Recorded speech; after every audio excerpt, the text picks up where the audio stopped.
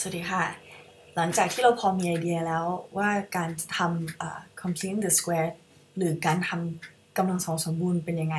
เรามาดูว่ามันมันมีประโยชน์อะไรบ้างทำไปทำไมเพื่ออะไร เราลองมาดูแบบฝึกหัดอีกสักสองข้อ วิธีการทำกำลังสองสมบูรณ์ เพื่อให้แม่นแล้วก็เอาไปดูถึงเรื่องการใช้งานว่ามันจะเอาไปเกี่ยวข้องกับเรื่องอะไรได้บ้าง โอเค สมมุติว่าโจทย์ให้พื้นที่ x กำลังสองบวก 5x บวก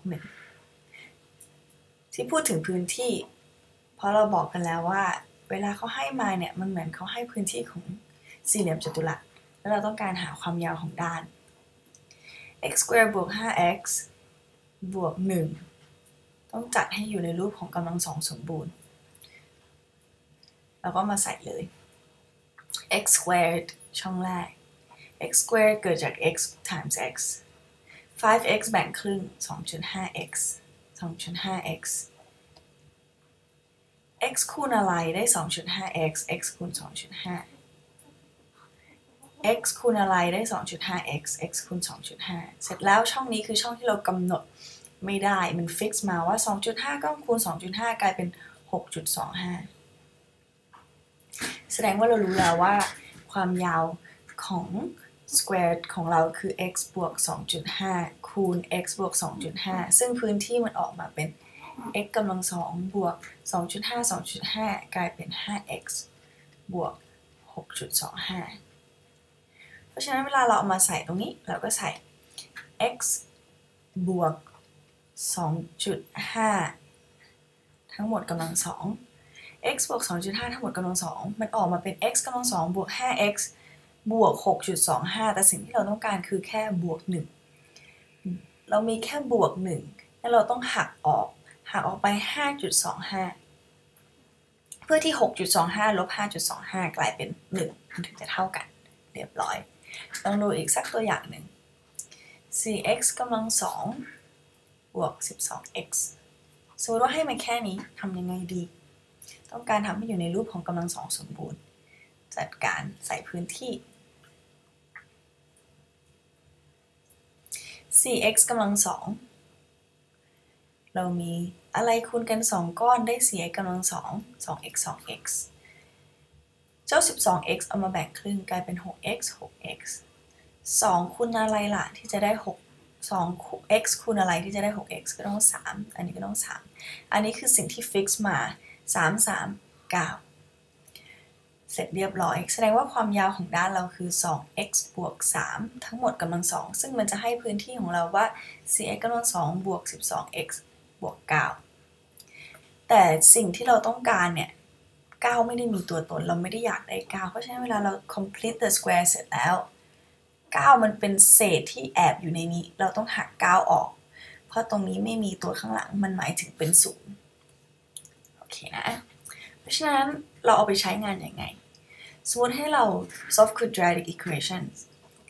x กำลังสองเท่ากับ 9 เริ่มจากอันนี้ก่อน หลายๆ คนก็รู้แล้วแหละเด็กมักจะตอบว่า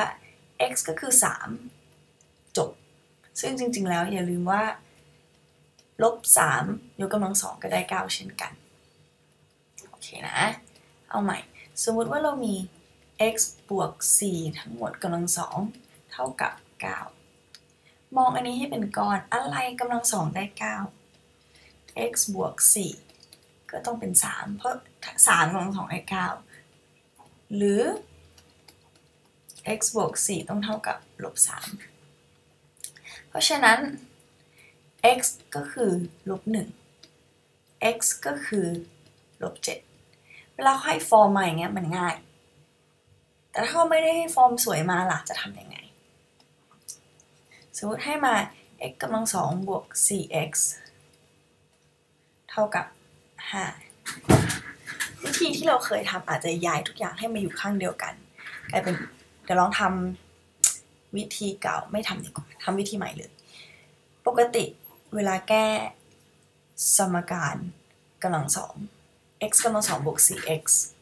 ท่ากับ 5 เราก็จะย้าย x กำลังสองบวก 4x ลบ5เท่ากับ 0 แล้วเราก็จัดการแยกตัวประกอบหรือ factorize เรามาลองทำวิธี complete the square ก่อนแล้วค่อยแก้ โอเคนะ งั้นเรามาดูด้านเนี้ย x กำลังสองบวก 4x จับใส่พื้นที่จริง ๆ สักพักหนึ่งพอทำได้เนี่ย เราไม่ต้องมานั่งวาดแล้วแหละ เราพอจะนึกเป็นภาพได้ ใส่เป็น x square x คูณ x จ้า 4x แบ่งออกมาเลย 2x 2x x คูณอะไรได้ 2x x คูณ 2 x คูณอะไรได้ 2x x คูณ 2 สิ่งที่เรากำหนดไม่ได้คือ 4 เพราะฉะนั้น เราได้แล้ว เราต้องการอันเนี้ยทำเป็นกำลังสองสมบูรณ์เราก็จะได้ x บวก 2 ทั้งหมดกำลังสองแต่อย่าลืมว่าเจ้า x บวก 2 ทั้งหมดกำลังสองมี 4 เกินมา แต่นี้ไม่ได้มี 4 เพราะฉะนั้นเราจะต้องหัก 4 ออกเท่ากับ5 อเรามีถึงตรงนี้แล้วแล้วก็ทำต่อ x บวก2ทั้งหมดกำลัง2เท่ากับ 9 อะไรกำลัง2เท่ากับ 9 มาอีกแล้ว x บวก2เท่ากับ 3 x บวก2เท่ากับลบ3แสดงว่า x ก็คือ 1 x ก็คือลบ5โอเคนะลองอีก สมมุติว่าเรามี 4x กำลัง2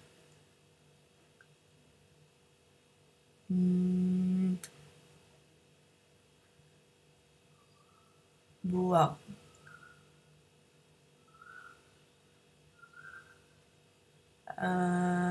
สี่แปดสิบสอง สมมติม้วนไปก่อนละกัน สมมติว่า 20x ลบ1 1 2เท่ากับ0สมมติเป็นอย่างนี้ เราก็ลองทำจัดการ complete the square ก่อน 4x square อะไรคูณกัน 2 ก้อนได้ 2x 2x 20 แบ่งครึ่งเลย 10x 10x 2x คูณอะไรได้ 10x 5 2x คูณอะไรได้ 10x 5 5คูณ5 25 จัดการ 2x กำลัง2 sorry 2x บวก 5 ทั้งหมดกำลัง2 ก้อนนี้ถ้าเรากระจายออกมา มันจะกลายเป็น 4x กำลัง2บวก 20x บวก 25 โอเค งั้นเรามาโฟกัสเฉพาะก้อนนี้ก่อน 4x กำลัง2บวก 20x ถ้าเราเปลี่ยนเป็น 2x บวก 5 ทั้งหมดกำลัง2 4x กำลัง2บวก 20x เนี่ย มันมี 25เกินมาถ้าเราเขียนในฟอร์มนี้ เพราะฉะนั้นเราหัก25ออก แต่อย่าลืมว่าลบ1มันมีของมันใหมาอยู่แล้ว อันนี้โอเคนะ ก็คือเจ้า 4x กำลัง2บวก 20x ตอนที่เรามาทำ complete the square เนี่ย มันมี 25 เกินเข้ามา พอเราจัดรูปเป็น 2x บวก 5 ทั้งหมดกำลัง2มี 25 เกินมา เพราะฉะนั้นจะแทนค่า 4x กำลัง2บวก 20x มันจะต้องมีลบ25ออกไป ลบ1มาจากของเดิม พอเราได้ถึงตรงนี้เราก็ทำต่อ 2x บวก5ทั้งหมดกำลัง2ลบ26 เท่ากับ 0 2x บวก5ทั้งหมดกำลัง2เท่ากับ 26 แสดงว่าอะไรกำลัง2ได้ 26 ก็รูท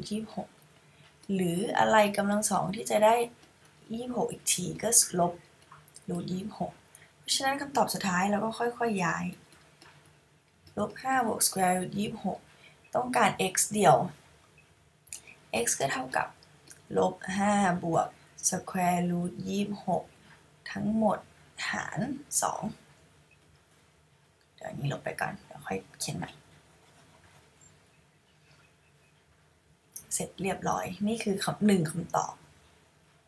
อีกอันหนึ่ง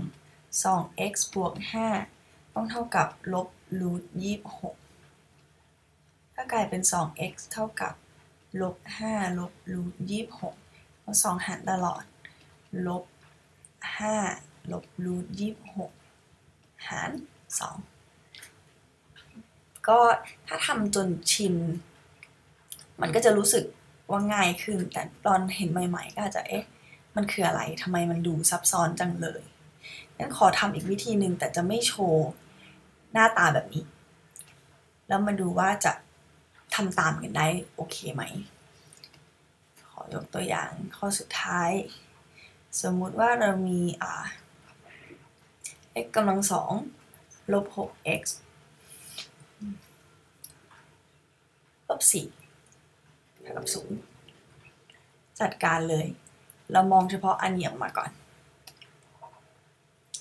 จับใส่ปุ๊บ มันจะต้องเป็นสักอย่างในภาพนี้ x x คูณกันด้วย x กำลังสองลบ 6x เดี๋ยวมันจะถูกแบ่งครึ่งเป็นลบ 3x ลบ 3x เพราะฉะนั้นมันก็จะกลายเป็น x ลบ3ใช่ไหม คิดตามกันหรือทันไหมแอบแอบดูแอบดู x กำลังสองใส่ไว้ตรงนี้ เพราะฉะนั้นนี่ x นี่ x เจ้าลบ 6x แบ่งครึ่ง อันนี้ลบ 3x ลบ 3x นี่ลบ3นี่ลบ3ลบ3ลบ3 x ส่วนเกิน 9 มี 9 โผล่มาตรงนี้จะทำยังไงหักออกไปซะ เพราะฉะนั้น x กำลังสองลบ 6x เนี่ยจะได้อยู่ในฟอร์มนี้ แต่อย่าลืมว่าเรามีลบ4ของเดิมอยู่แล้ว ใส่ออกมาถ้ากลายเป็น x ลบ3ทั้งหมดกำลังสองเท่ากับ 13พอลบ4ลบ9เป็นลบเป็นลบ13 ย้ายไปอีกฝั่งเป็น 13 เพราะฉะนั้น x ลบ3เท่ากับ square root 13 กับอีกอันหนึงคือ x ลบ3เท่ากับลบ square root 13 x ก็เท่ากับ 3 บวก square root 13 x เท่ากับ 3 ลบ square root 13 จบ ถ้าเกิดข้อนี้เราไม่ใช้วิธีนี้อีกวิธีหนึ่งที่จะใช้ก็คือการใช้ quadratic formula อย่างคุ้นๆกันไหม x กำลังสองลบ 6x ลบ4เท่ากับ 0 เราแยกตัวประกอบไม่ได้เราก็ต้องใช้สูตร x เท่ากับเจ้าลบ b บวกลบ square root b กำลังสองลบ 4ac ส่วน 2a อันนี้คือเรายังทำ จทย์เดิมอยู่ แต่จะให้ดูอีกวิธีที่หลาย ๆ คนคงมีความคุ้นเคยมาแล้ว โดยการใช้ quadratic formula แล้วก็มาดูลบ b ก็ b ของเรามันคือลบ6 b กำลังสองลบ6กำลังสอง36ลบ4 a ของเราคือ 1 ลบ4คูณ1ได้ลบ4ลบ4คูณลบ4 เป็นบวก 16 หาร 2คำตอบออกมาควรจะเท่ากัน square root 36 บวก 16 เป็น square root 52 square root 52 เรา simplify ได้นิดหนึ่ง อะไรนะ ที่มี square number แอบอยู่ในนี้ ลองนึกถึง 4 คูณอะไร 4 คูณ 13 เพราะฉะนั้น simplify ได้ออกมาเป็น2รูท13 อันนี้เราขอแอบมาทำตรงนี้ เราก็ได้เป็น 6 บวกลบ2รูท13 ทั้งหมดส่วน 2 คำตอบสุดท้ายก็ 3 บวกลบรูท13คำตอบเท่ากันเด็กๆแล้วแต่ว่าอยากใช้วิธีไหนโอเคนะคะสวัสดีค่ะ